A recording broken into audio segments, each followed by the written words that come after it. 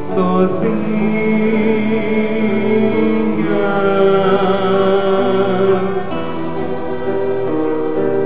O seu amor sempre falou, mas a